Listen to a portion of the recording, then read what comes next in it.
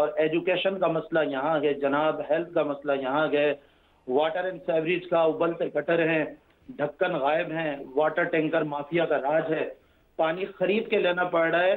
मेरा हल्के में कराची कॉम्प्लेक्स है, जहाँ 315 फ्लैट्स हैं, वहाँ तो पानी की लाइन भी मौजूद नहीं है।